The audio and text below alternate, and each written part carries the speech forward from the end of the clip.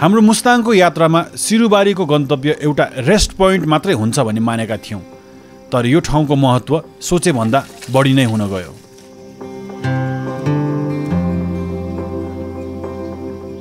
नेपालकै पहिलो होमस्टे भएकाले यहाँको इतिहासले ठुलो महत्त्व बोकेको रहेछ। स्याङ्जाको यो गाउँ एउटा नमुना बस्ती बन्न पुगेको रहेछ। शान्त भिन्न सुन्दर। यो ठाउँले जोसुकैको मनस्थितिलाई पनि ताजा बनाइदिन्छ होला।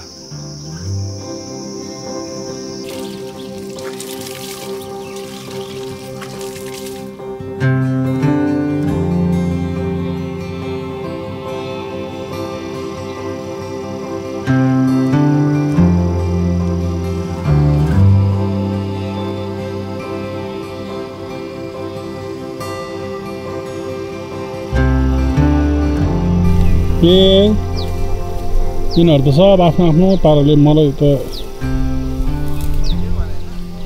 पाण्डुले त क्यामराम्यान पनि सब चोर्यो हेर त पाण्डुको वरिपरि त चार पाँचजना क्यामेरा पाण्डु क्यामराम्यान पनि सब चोर्यो उसले त हाम्रो जागिरै खाइदिनु ला नि त पाण्डुले त। हेर त। के खाने दाइ के फुल दाइ खाऊँ न। खोकी नलाए पनि खाऊँ न।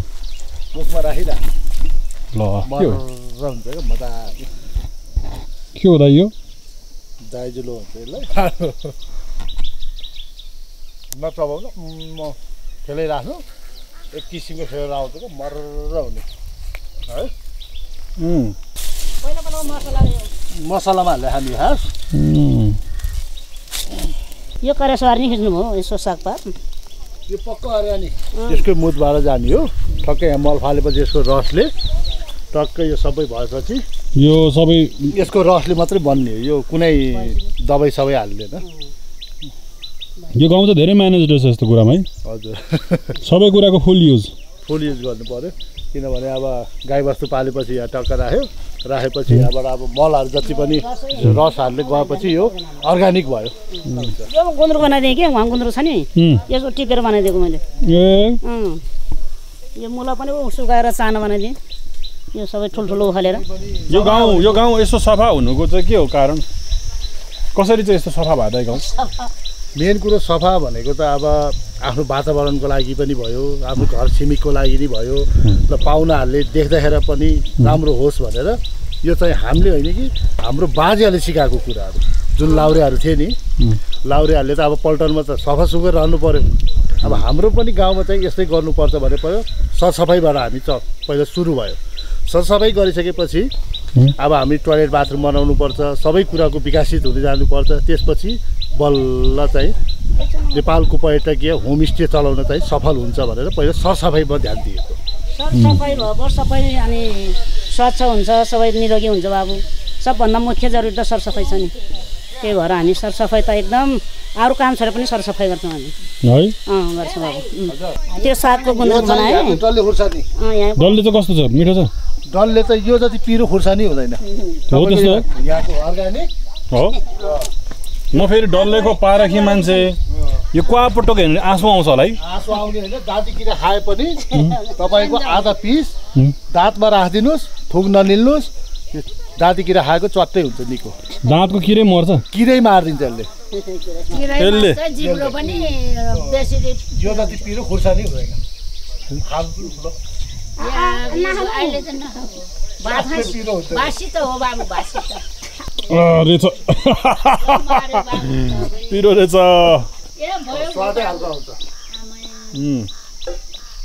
साह्रो जाऊ न अनु तिमी पनि आऊ भुर्सान च्यालेन्ज खुर्सानी च्यालेन्ज है भुर्सान च्यालेन्ज यो होइन एउटा एउटा खानुपर्छ एउटै खानुपर्ने एउटै खानुपर्छ दाइले सस्ती दिनुभयो मलाई यहाँको कल्चर। होइन होइन यहाँको कल्चर एउटा एउटा जहिले सस्ती दिन्छ नि तपाईँलाई थाहा छ सस्ती त्यतिकै कि हामी हामी अर्कै सुरुमा थियो नि म फसेँ नि हामी होइन ल चियर्स ल चियर्स ल कति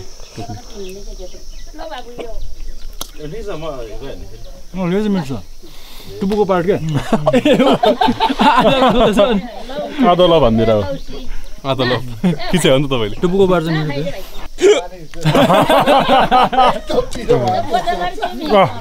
खान पुरै खान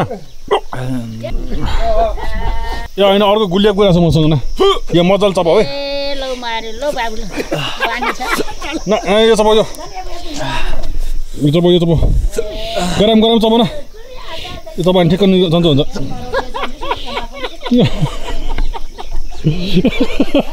ए, कस्तो कम्बिनेसन के? कस्तो कम्बिनेसन दिँदा के?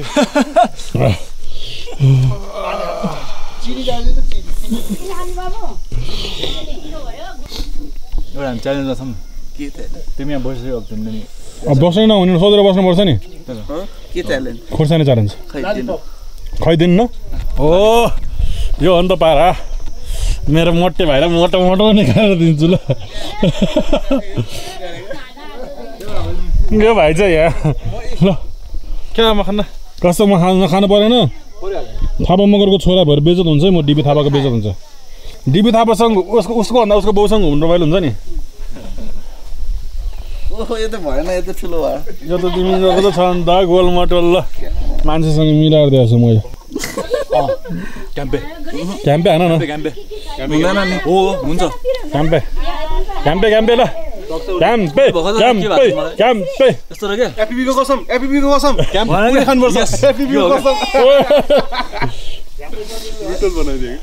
छ्याप नलिएर बिस्तारै बिस्तारै खाऊ। ल। ल। मजा आयो रे। ल तिमी पनि त ल। तिमी पनि तिमी चसा फकाएर त अझै नि क्याम्पे ल। कस्तो घ्याम्मे पुरै खायो कपै।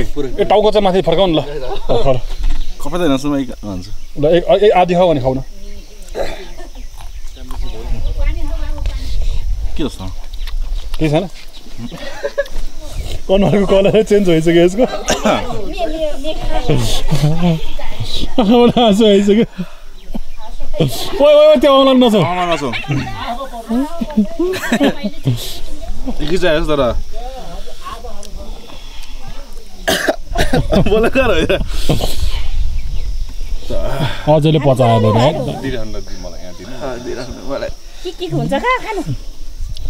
चिनी खुवाइदियो। भयो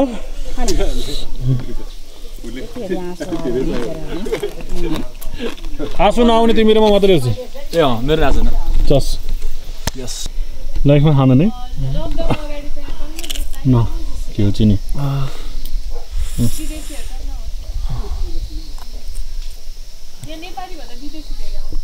म चाहिँ चिनी खाउन उसको चिनी सब खाइद मर्लै दुख्यो है।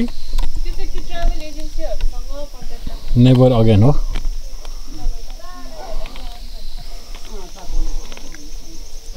फर्स्टदेखि भन्नु नि त यो यो फर्स्टमा चाहिँ यो यो यो कोदो टिपे कति कति महिना लगाएर हार्भेस्ट भयो? यो यो चाहिँ तपाईँको अब असा साउनमा रोप्छ है। साउनमा होइन। असार असार साउनमा भनौँ न। असारको लास्ट लास्टमा साउनको फर्स्टमा गरेर रोप्ने।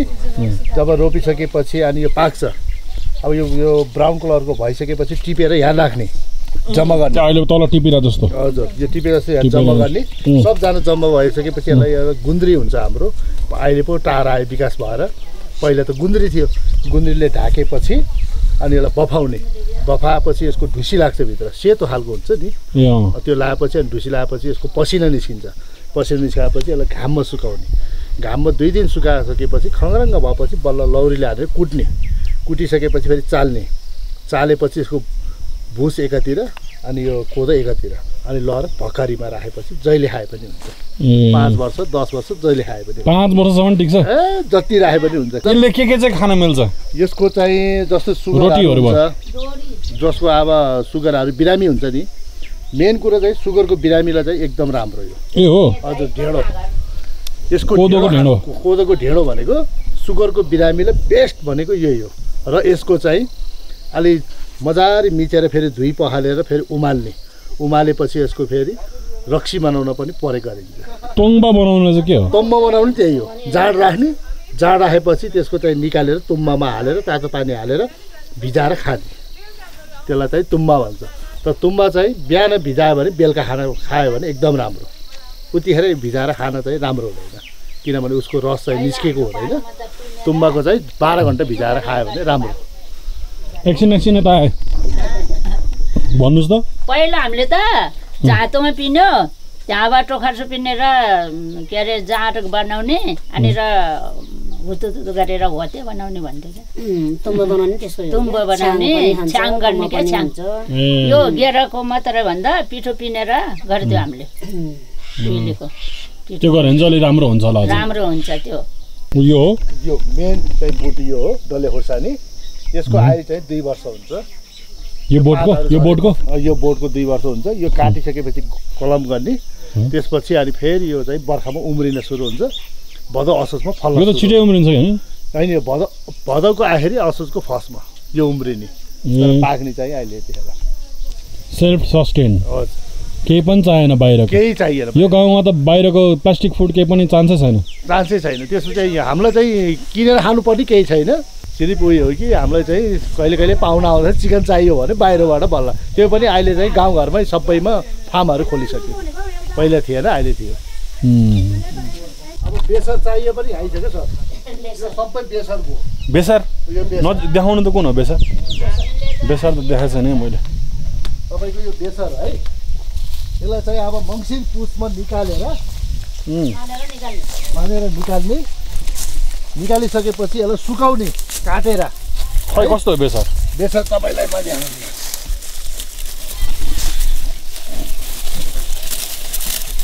बेसर गनायो नि है। अँ त। यो बेसरको रुख हो। यो बेसर हो। यो। देखियो होला। त्यो त्यो माथिको प्लान्ट सबै निकालेपछि त्यो बेसार आयो। बेसर आयो। तपाईँको यो निकाल्नु मिल्छ त्यसलाई? मिल्छ। यो फेरि गाड्दै पनि केही हुँदैन। फेरि फेरि उम्रिन्छ त्यो? हजुर। ल। यो चाहिँ बेसर हो। यो चाहिँ अलि पाके छैन। यो चाहिँ अब अझै दुई महिनापछि पाक्छ। अदुवा यो हो सर यो। अदुवाको ऊ खै त माथिको टाउको। यो यो। यस्तो हुन्छ अदुवाको रुख। अदुवाको यस्तो हो? यो अदुवा। अदुवाको त लसुन जस्तो पो हुने रहेछ त टाउको त। अदुवा यो। ल अदुवा बिचरा अदुवा। यो के गरौँ? राखिदिन्छ आफै उम्रिन्छ। यसलाई यतिकै छाडिने आफै उम्रिन्छ? यतिकै छाडिने उम्रिन्छ? हो त्यहीँ राखिदिन्छ त्यतिकै छाड्नु उम्रिन्छ त? त्यो त्यतिकै राखे पनि त्यो माटो देखेपछि चिसिएपछि आफसे आफ यो कहिले बिग्रिन्न फेरि? तपाईँलाई अब अदुवा खानामा लायो भने एकदम फ्रेस अदुवा खानामा लायो भने घरको कुनै पनि कुनामा। गाडेर राख्यो भने कहिले बिग्रिन्न अदुवा? पा भुइँमा। माटोमा माटोमा? माटोमा। वा कति धेरै कुरा थाहा पाएर मैले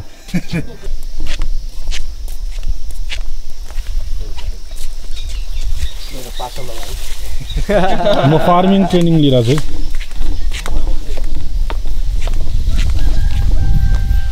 यो चाहिँ टिमुरको अचार खान्छ नि हामीले जुन उम्, थकालीको अब मेन अब अचार भनेकै टिमुर हो एकदम हो जति पनि स्वाद काँडे काँडे रहेछ नि त यो काँडे काँडे छ होइन ए ल रहेछ त त्यहाँ टिमुर ल। ए ओके। ल तपाईँले यो चाख्नुहोस् त टिमुर चाख्ने नै? चाख्नुहोस्। बल्ल यो फेसमा।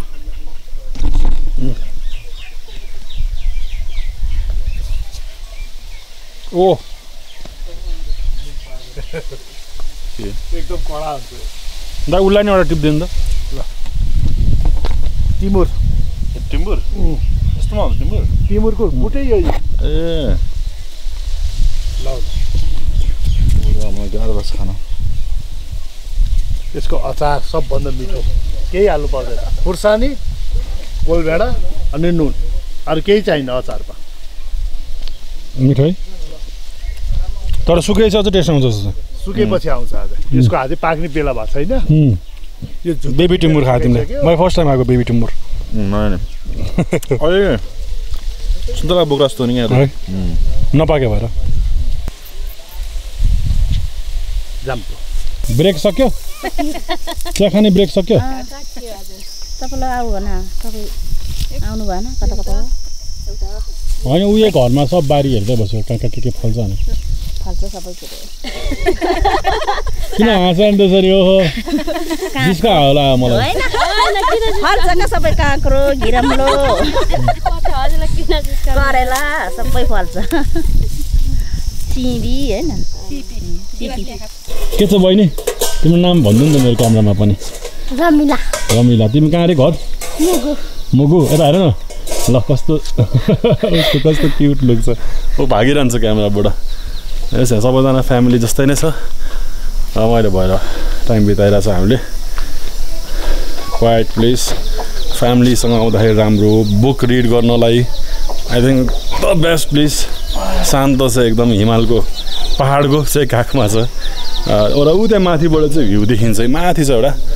उता एउटा सिरुबारी लेखेको पुरा हलिउड स्टाइलमा सिरुबारी लेखेको ठाउँ छ। त्यहाँ माथि चाहिँ बिहान चार बजे साढे चार बजीतिर यसो वक गयो भने चाहिँ you'll see a very very very beautiful view हामी अस्ति गएको आउने बित्तिकै गएको थाप्ले डाँडा भन्ने चु पर बुद्धको वाला क्या। उतापट्टि हो। अस्ति सरी हिजो गएको। यो चाहिँ गुरुङको ड्रेस। गुरुङ कि मगरको दाइ हो। हेलो हेलो म सुहाएँ तर है मैले चाहिँ श्वास लगाइरहेको छ तर तपाईँले चाहिँ दामी सुहाइरहेको छ तर। फेरि सुट हुँदैछ अँ तातो नि हुन्छ होला। क्यामराम्यानहरूले बोक्ने चिज रहेछ। यस्तोमा अब यहाँ हाल्न नै मिल्यो क्यामेरा स्यामेरा गिम्बल। सब कुरा हाल्न मिल्यो।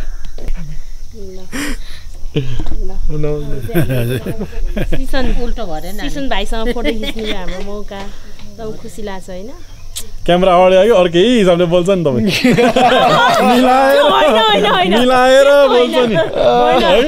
समय अनुसार कुरा अवस्था अनुसार हुन्छ क्या।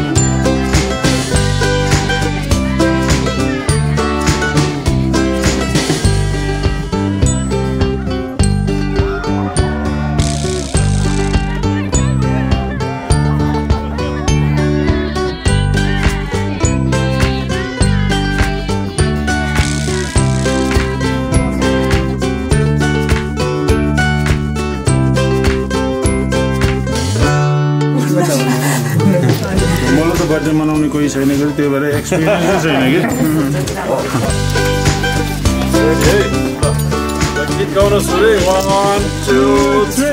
कि go happy birthday to you birthday to you ल मेरो टोलीहरू रेडी हो हो यो पर्यो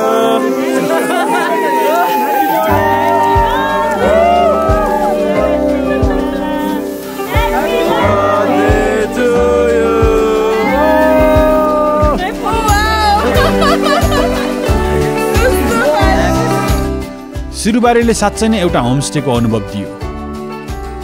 हामी यति खुलेर रमाइलो गर्न पाउँदा यो गाउँ आफ्नै चाहिँ लाग्यो। यसको श्रेय विशेष गरी सिरुबारीको बासिन्दाहरूलाई जान्छ। सिरुवारी तिम्रो गाउँ है बाबु? मेरो बाबु मेरो छोरीको गाउँ। यो गाउँलाई हाम्रो टिमको तर्फबाट धेरै धेरै धन्यवाद। हजुरको मुभिजहरू एकदम हिट होस्। अँ, म चाहिँ डेफिनेटली म हेर्छु है।